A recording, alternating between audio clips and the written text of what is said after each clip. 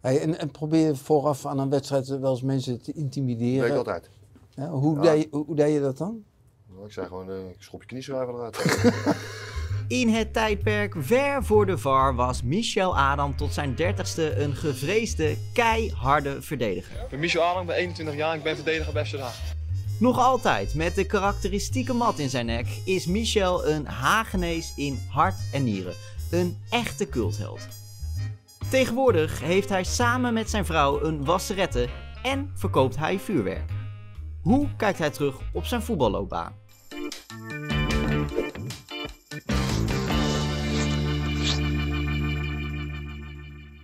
Wat voor soort speler was jij?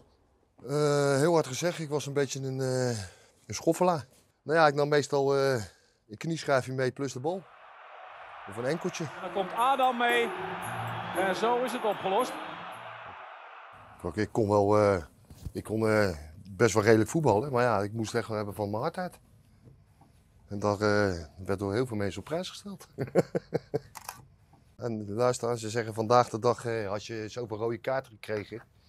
Maar ja, als jij gewoon een, een goede sliding neemt en je neemt de bal mee en je neemt de, de speler ook mee, denk ik dat er weinig aan de hand is. Want je ziet de laatste tijd, haast geen slidingen meer op het veld. Is er nog een speler van nu waar jij mee te vergelijken zou zijn?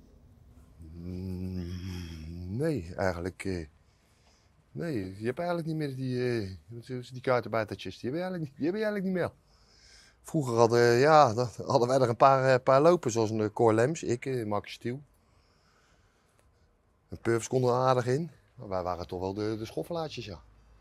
Ik zeg, en die die heb je toch ook in een elftal nodig? Als jij eh, elf mooie voetballers hebt, ga je het ook niet halen.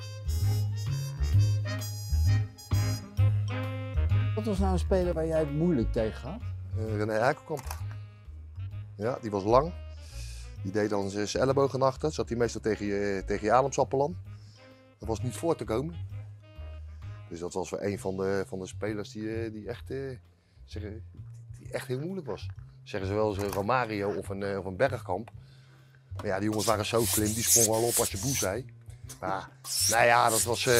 maar die, die, die kozen zo goed positie. Die, die kon je zelden raken of ze speelden de bal weg. Maar zoals een René Akerkamp, die liet zich gewoon aanspelen in de bal.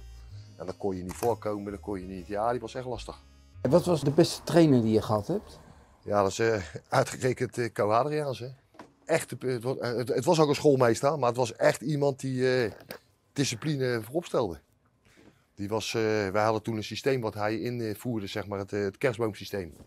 Daar moesten we mentaal zo sterk voor zijn dat wij eh, alleen maar liepen. Moesten lopen, lopen, lopen. Ik, heb, ik ken elke zandkorrel in Scheveningen ken ik uit mijn hoofd. Maar Co was gewoon een, eh, ja, was gewoon een toptrainer. Was hij ook goed in teambuilding? Dat, dat was juist heel goed bij hem. Hoe deed hij dat? Nou ja, we zijn in China geweest. Zijn we ook heen geweest. Dat eh, had hij volgens mij toen ook geregeld. En dan eh, was het echt teambuilding. En met z'n allen naar een tempel, met z'n allen daar naartoe. Ja, Co was wel zo iemand van je, eh, die de spelers wel... eh, hij was hard. Als jij eh, had ook... eh, als je telefoon overging, kreeg je, kreeg je 50 gulden boete. Als je te laat de training was, 250 gulden. Dus het was wel eh, echt een pietje precies. Die, hadden wij, die heb je ook wel nodig, hoor, met al die ratjes. Ja, ik, ik ben er zelf ook een keer in getrapt. Was ook één keer te laat. Kreeg ook een eh, boete van 250 gulden. Toen zei hij van, joh, ik weet het goed gemaakt als jij de, de, de, beker uit gaat reiken van de, van de KNVB-beek voor de amateurs. Dan schappen we die eh, 250 euro. Ik zei, ja, laten we dat maar doen dan. Vond ik bijzonder voor mijn centen. We moesten in het Zuiderpark moesten we rondjes lopen. Dan moesten we, eerst ging die 9 kilometer, 10 kilometer, maar ging hij gewoon op de fietsen. Liepen wij echt zijn fiets aan.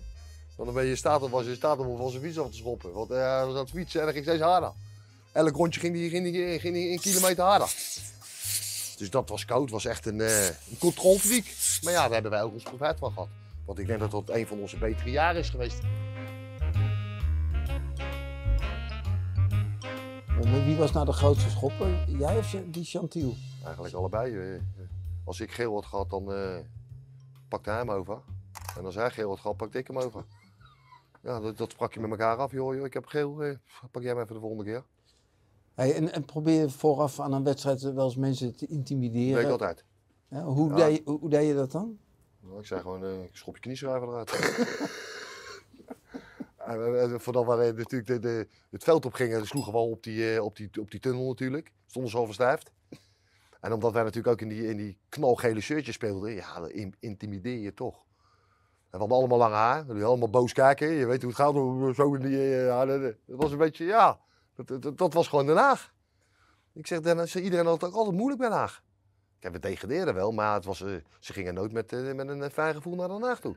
Het elftal van toen, ik denk dat je de, de, de Haagse mentaliteit, dat je die eh, on, onberispelijk is.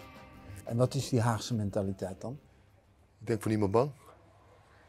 Toch een beetje, wat je zegt, intimideren. Toch ja, je tanden laten zien en, eh, joh, en als iemand wat tegen jou zegt, eh, pak je hem gelijk een woorden terug. Ik denk dat, dat je daar toch een 1-0 voor staat. Verloren we meestal wel normaal, maar... maar ik denk dat je, je, je probeert altijd te intimideren, dat deed je altijd. Of even op iemand zijn tenen staan, weet je, even, even als een zak, als, als ze ballen draaien. Dat hoort, dat hoort er allemaal bij. Het is een beetje spelen met elkaar, joh. En na afloop was het weer elkaar een hand geven, was klaar. Maar in het veld was het gewoon oorlog. En dat mis ik nu eh, vandaag de dag eh, toch met het voetbal. Wist je dat betaalde voetbal nog?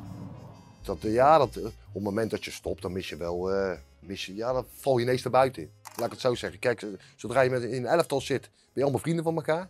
Maar zodra het voetbal stopt, gaat toch ieder zijn eigen kant. Dus dan gaat toch een beetje die vriendschap vervaagd.